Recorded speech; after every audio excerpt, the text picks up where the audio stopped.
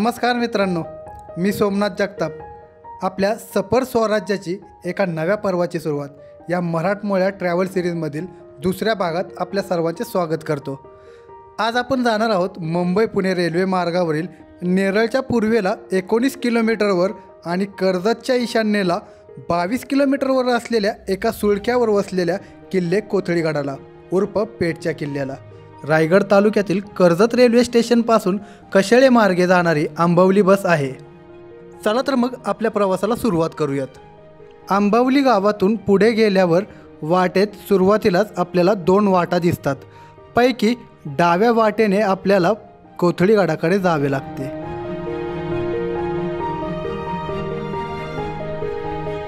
रस्ता चांगल्या पद्धतीचा आहे. तुम्ही जसं जसं पुढे जाल जंगल लागेल त्यावेळेस तुम्हाला रस्ता पूर्ण खराब झालेला दिसेल. अति पावसामुळे हा रस्ता पूर्णतः वाहून गेलेला आहे. इकडे टू व्हीलर पण पावसाळा जाणं खूप अवघड आहे. त्यामुळे तुम्हाला आंबवली ते पेट गावापर्यंत पायी पायी चालत जावे लागते. हा किमान सहा ते सात किलोमीटरचा टप्पा आहे. पण खरंच हा टप्पा पार करत असताना तुम्हाला निसर्गाची वेगवेगळ्या पद्धतीची अनुभूती येत असते. आम्ही आमच्या सहकाऱ्यांसोबत ही अनुभूती घेत घेत पुढे चालत होतो. नमस्कार मित्रांनो. आज आपण मागच्या तोरणा किल्ल्यावर बोलल्याप्रमाणे आपण आज नवीन गडावर आलो आपल्यासोबत नेहमीप्रमाणे आमचे मित्र प्रशांत गाडेकर आहेत. नमस्कार. त्यांचे मित्र अजून आपल्याला जॉईन झालेले आहेत. अ, नमस्कार. राजेश साळुंके. आणि अजून आपले जुने दोन मित्र आहेत जे एक तोरण्याला एक होता आणि एक पेपच्या किल्ल्याला. निलेश माने आणि सागर कस्तुरे. हे महाग आहेत आणि त्यांच्यासोबत अजून एक नवीन मेंबर आला आपल्यासोबत. इंदापूरचे आमचे मित्र फोटोग्राफर ओंकार विंचू तेही मागेत राहिलेत तिघजण. खरंच महाराष्ट्राला एक देणगी भेटलेली आहे ती सह्याद्रीच्या रूपाने. आणि ती देणगी छत्रपती शिवाजी महाराजांनी त्याला वैभव प्राप्त करून दिले. आणि ते आज आम्ही प्रत्यक्षात अनुभवत आहे.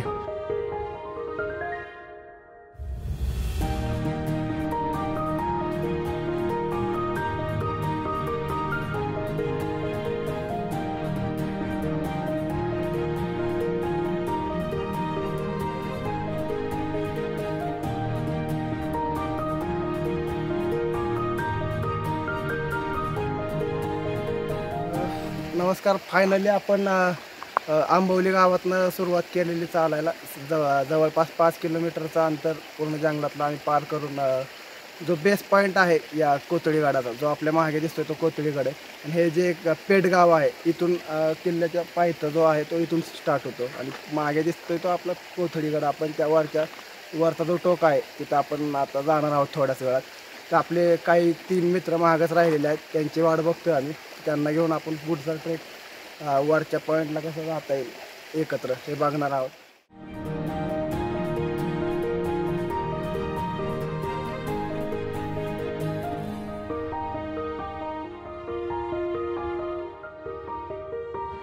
हे जे आपल्याला समोर दिसत आहे ते पेठगाव म्हणजेच कोथळीगडाचा पायथा.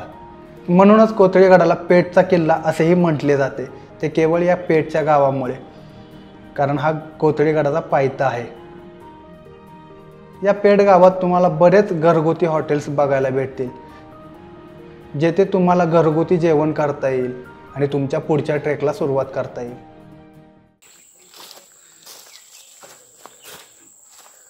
तर फायनली आपण गडजेतून स्टार्ट होतो कोथळीगड. त्या पाठीपाशी आलो किल्ले पेठ कोथळीगड म्हणून असा बोर्ड दिलेला आहे. त्याच्याखाली सगळ्या सूचना फलक लावलेल्या आहेत. तर कृपया करून सगळ्यांनी ती सूचना फलक व्यवस्थित वाचा आणि त्या पद्धतीने वर्तन गडावरती करा. जेणेकरून वन विभागाने जे काही लिहिलं आहे सह्याद्री प्रतिष्ठानांनी तर हे सगळं काटेकोरपणे सगळ्या ट्रेकरने पाळा. म्हणजे जेणेकरून वरती जास्त घाण होणार नाही आणि प्रत्येकाने आपला नेलेल्या सगळ्या बाटल्या असतील कचरा असेल तो जर घेऊन आला तर गाडावरती कुठल्याही प्रकारची हानी होणार नाही. तर आपल्याच हातात आहे गड आपलं कसं वाचवायचं आणि पुढच्या पिढीपर्यंत पुढच्या पिढीपर्यंत कसं पोहोचवायचं आहे आपल्याला? तर मला एक आव्हान आहे सगळ्यांनाच महाराष्ट्रातल्या तमाम शिवभक्तांना. तर तुम्ही ह्या गोष्टींचं सगळं काटेकोर करण्यात पालन करा. तर चला आपण वर बघूयात अजून.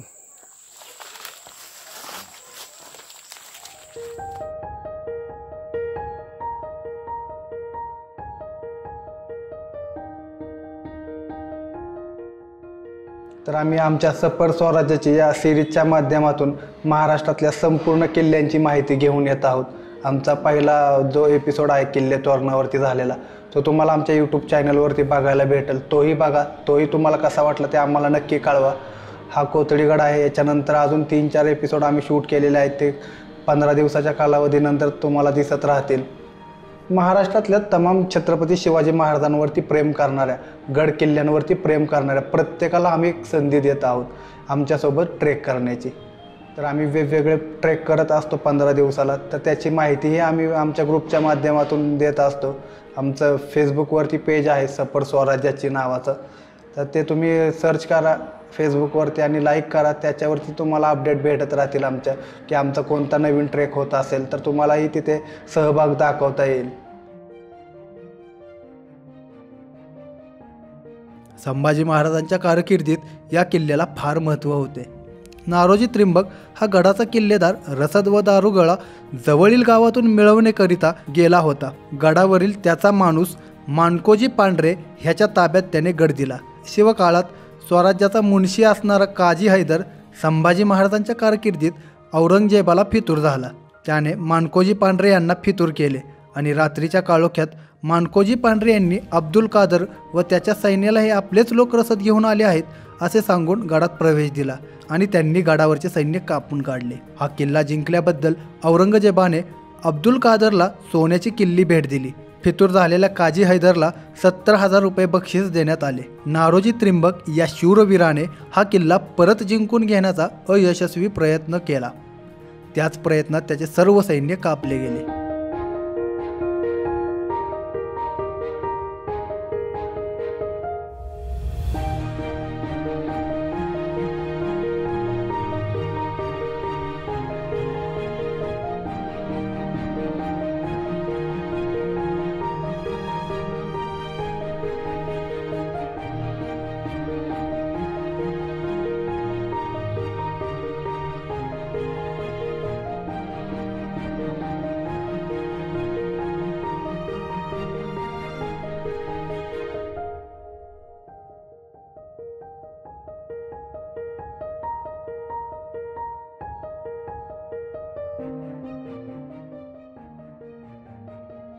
खाली तळात काही पंचरशी तोफा आहेत.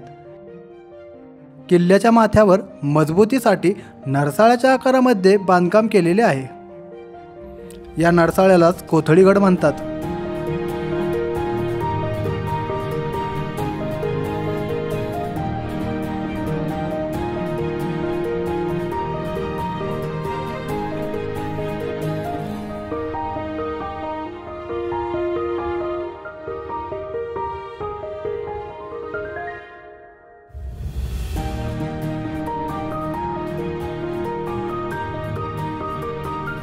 पेठ गावातून पाऊल वाटेने वर चढत गेल्यावर कातळकड्याच्या पोटात खोदलेल्या गुहा थेट सामोऱ्या येतात.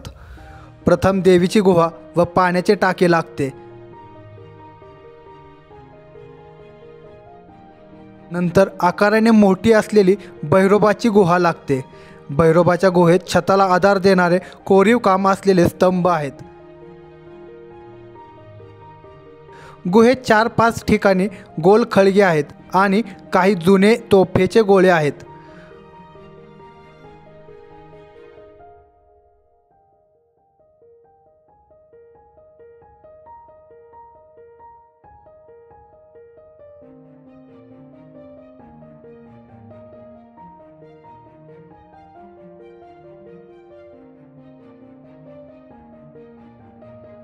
गुहेजवळच किल्ल्याच्या सुळक्यावर जाण्यासाठी एक ऊर्ध्वामुखी भुयारात पायऱ्या खोदल्या आहेत.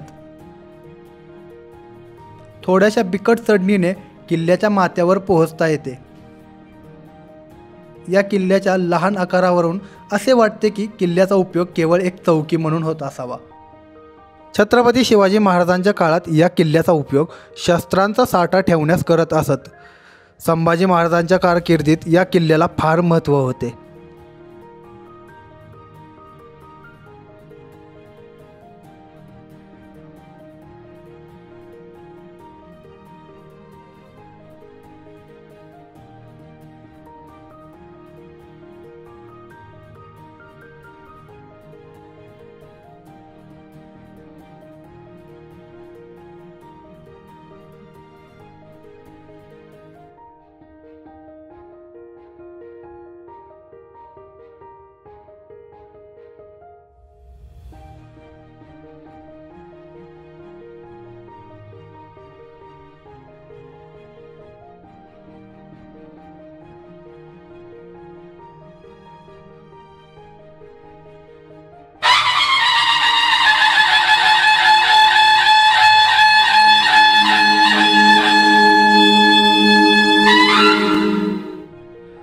जागा अगदी थोडी आहे. हा किल्ला ज्या डोंगरावर आहे तो कर्जतच्या मूळ डोंगर रांगेपासून तुटून वेगळा पडलेला आहे. या गडावरून माथेरानचा पठार चंदेरी प्रबळगड नागफणी सिद्धगड माणिकगड पिशाळगड असा प्रचंड मुलूक या गडावरून दिसतो.